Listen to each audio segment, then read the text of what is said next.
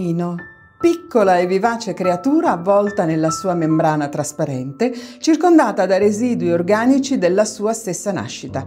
Poi, dieci minuti più tardi, umido ma pulito e già attaccato al capezzolo. Dieci giorni dopo è un minuscolo frammento dai morbidi occhi appannati. A questo punto, in condizioni di vita selvatiche, il micio confermerebbe la sua selvaticità, diventerebbe un gatto selvatico, ma qui invece no, perché una mano lo tocca, l'odore umano lo avvolge, una voce umana lo rassicura. Presto esce fuori dal nido, fiducioso che le gigantesche figure che lo circondano non gli faranno alcun male. Gattino incantevole, grazioso gattino, magnifica, deliziosa bestiolina pelosa e infantile, e poi viene dato via. E a quel punto la sua personalità verrà formata da una nuova famiglia, dal nuovo padrone, perché finché sta con sua madre non è altro che un gattino, anche se trattandosi del cucciolo della gatta nera. E un gattino allevato davvero molto bene. Cari lettori, ben ritrovati. Oggi parliamo di gatti e lo facciamo presentando due libri a loro dedicati uno scritto negli anni 60 e l'altro negli anni 20 ma del nostro secolo. Il primo volume appartiene alla scrittrice britannica Doris Lessing e si tratta di gatti molto speciali. Doris Lessing è una pietra miliare nella letteratura femminile. Nata nel 1919 e cresciuta nello Zimbabwe, ex Rhodesia, da una famiglia di coltivatori di mais, emigrati in quella colonia britannica, ebbe un'infanzia difficile, dovuto alle difficoltà economiche e alla vita dura dei coloni in quella zona dell'Africa. Abbandonò la scuola a 15 anni e crebbe da autodidatta. Interessata a molte tematiche, tra le principali il sufismo, la fantascienza, lo studio delle ideologie, delle quali diffidò sempre, ottenne molti riconoscimenti durante la sua lunga carriera, ma primo fra tutti il premio Nobel per la letteratura nel 2007. Morì a 94 anni nel 2013 al suo primo romanzo, L'erba canta, ne seguirono molti altri che parlavano dei suoi numerosi interessi e passioni, fra queste quella per i gatti, gatti molto speciali, come il titolo del suo libro. Sono venuta ad abitare in una casa nel paese dei gatti. Le case sono vecchie e hanno giardini stretti circondati da muri. C'è un piccolo spazio digradante con tetti a varie altezze. Qui i gatti prosperano. Ci sono sempre gatti sui muri, sui tetti e nei giardini, i quali hanno la loro vita segreta e complicata. Sapevo che in quella casa ci sarebbe stato un gatto. Durante tutto quel terribile inverno del 1962, il giardino e il tetto che sovrastava la veranda posteriore furono oggetto di visite da parte di un vecchio gattone bianco e nero. Era assolutamente privo di qualunque bellezza. Aveva una macchia bianca su un occhio, un'orecchia malconcia e la mascella sempre un poco aperta e bavosa. Ma non era un randagio. Quel gatto aveva una casa accogliente in quella stessa strada e nessuno riusciva a spiegarsi perché mai non ci stesse. Gatti molto speciali sono quelli che hanno popolato e accompagnato i 94 anni della scrittrice, dai suoi primi anni di vita in Rhodesia alla sua esistenza a Londra. Più che un romanzo, il libro è un taccuino di appunti e impressioni, uno studio sul comportamento animale. Le 160 pagine si dividono praticamente in due parti. La prima racconta la sua infanzia nella fattoria. In quell'epoca i gatti selvatici infestavano i dintorni e puntualmente si accoppiavano con i gatti domestici, popolando di cucciolate la fattoria. Il primo veterinario si trovava a decine di chilometri di distanza. La sterilizzazione era poco e mal praticata. L'unica opzione per gli abitanti del posto erano periodiche battute di sterminio, una consuetudine alla quale venivano abituati anche i più giovani. La sua vita nei vari appartamenti di Londra sarà contrassegnata dalla presenza di due gatte, la gatta grigia e la gatta nera, e intorno a loro un via vai di maschi del quartiere che a turno saranno i padri di molte cucciolate, tutte a carico della scrittrice. Le pagine sono piene delle sofferte decisioni che la Lessing e la sua famiglia dovranno prendere per la gestione dei mici, dei molti episodi di fughe e incidenti domestici vari, ma più godibili di tutti sono le silenziose lotte per la supremazia e il dominio degli spazi casalinghi delle due gatte, l'altezzosità della grigia, prima arrivata in famiglia, e la dignitosa sottomissione di quella nera, che è consapevole di essere arrivata per ultima, ma che non perde la speranza di guadagnare terreno.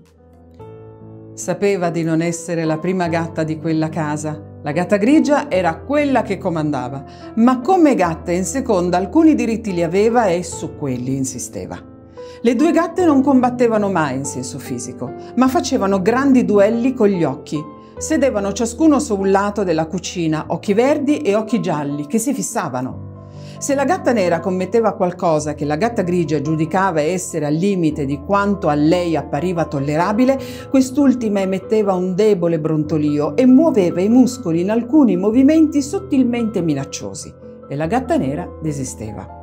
La gatta grigia dormiva sul mio letto, alla gatta nera questo era vietato. La gatta grigia poteva stare sul tavolo, ma la gatta nera no. Quando c'erano visite, la gatta grigia si presentava per prima alla porta. La gatta nera si sottometteva a tutto ciò e con gli umani che vivevano in quella casa si dimostrava ragionevolmente affettuosa. Ci si avvolgeva attorno alle gambe, faceva le fusa, comunicava. Anche lei è per metà siamese, ma tutto questo sempre con un occhio fisso sulla gatta grigia. La nostra seconda proposta di oggi è un libro del 2021, La mia vita con i gatti, di Morishita Noriko. Nata in Giappone, a Yokohama, nel 1956, si laurea in letteratura giapponese. Lavora come giornalista curando le rubriche di molti giornali e riviste. La mia vita con i gatti, di 232 pagine e pubblicato sempre da Inaudi, ci racconta di Noriko, una scrittrice e giornalista cinquantenne in crisi lavorativa ed esistenziale Vive con la madre e lavora come freelance, senza garanzie. I suoi rapporti con la madre sono spesso tesi e le loro giornate trascorrono con la sporadica visita di qualche vicino parente. Durante una visita ad un santuario shintoista, Noriko rivolge una fervente preghiera, ricevere in dono la felicità. Il giorno successivo, sotto il ceppo di una magnolia piantata anni prima dal compianto padre, una gatta randagia mette al mondo una numerosa cucciolata. Questo evento porterà a un decisivo cambiamento nella vita di madre e figlia, nessuna delle due appassionate di gatti e men che meno abituate ad accudirli. Pian piano la casa si riempirà di movimento, sia per le continue scorribande dei gattini, sia per le numerose visite di parenti e amici incantati dai piccoli e desiderosi di collaborare con consigli e piccoli doni. Era accaduto tre giorni prima, mentre non ero in casa. Mamma aveva accompagnato al cancello una cara amica. Durante quel lasso di tempo l'ingresso era rimasto aperto. Rientrata in casa aveva chiuso la porta ed era andata in soggiorno dove aveva trovato un piccolo felino bianco. Mamma certo era sorpresa, ma la bestiola, trovandosela davanti all'improvviso, era scappata via. L'avevo già vista prima, se ne andava sempre in giro appresso a grossi gatti randagi. Dato che era piccola, mi ero convinta che fosse un cucciolo. Chi poteva immaginare che fosse incinta? Ero in un momento difficile, dopo la laurea avevo fatto dei lavoretti per una rivista, da lì ero diventata una freelance e avevo sempre vissuto della mia penna. Ma in quel periodo la penna si era fermata, non riuscivo a scrivere il volume che avevo promesso. Avevo passato i 50 eppure non trovavo ancora pace. Quando ci pensavo mi avvilivo, stanca di rimuginare, il giorno prima ero andata al santuario shintoista. In quel momento mi vennero alle labbra delle parole inattese. Due libri che condividono moltissimo, ma che hanno differenze fondamentali. L'approccio del primo romanzo della Lessing, Gatti molto speciali, è decisamente più rude e diretto. Apre con una descrizione sulla relazione dei coloni con le popolazioni feline che può decisamente urtare il lettore, specialmente se appassionato di gatti. La delicatezza e i giri di parole non sono un punto forte dell'autrice, ma il tutto va visto nel contesto del periodo e dell'ambiente dove si svolge il romanzo. Ho riscontrato lo stesso approccio alla natura nei romanzi della Blixen, in concreto nella mia Africa. Ciò nonostante il libro trabocca di tenerezza ed emerge un amore sempre rispettoso della necessità di libertà di questi animali, sempre trattati da lei come animali e mai come appendici umane.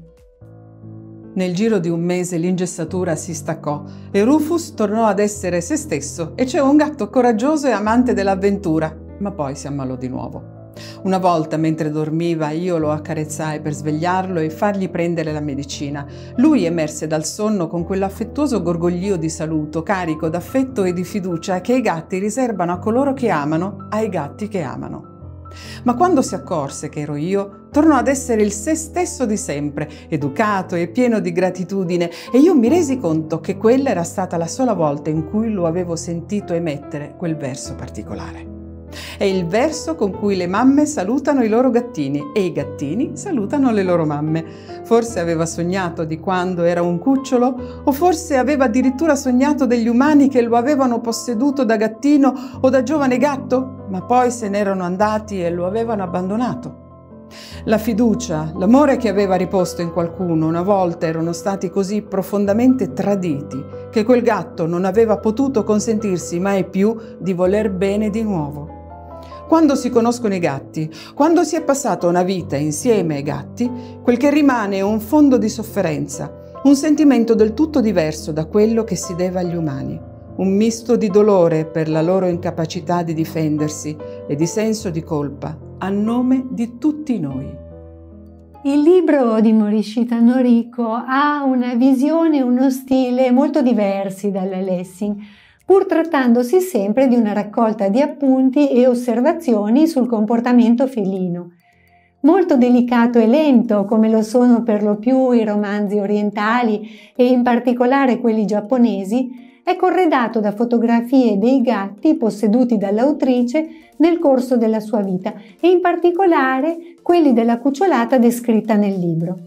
Senz'altro una lettura piacevole, ma senza la forza del primo libro da noi recensito in questa puntata. Ho molto apprezzato la quotidianità, la descrizione del calore domestico profuso dalla presenza dei gatti, il sentimento di inquietudine e smarrimento provocato dalle loro fughe e la gioia dei loro ritorni, le preoccupazioni e angosce legate alle loro malattie e naturalmente il vuoto enorme procurato dalla loro perdita. Tutto ciò è contenuto in questi libri e vale la pena leggerli entrambi. Ed ecco la citazione di oggi. Il gatto è diagramma e modello di leggerezza nell'aria. Vi saluto con un miau e vi rimando alla prossima puntata.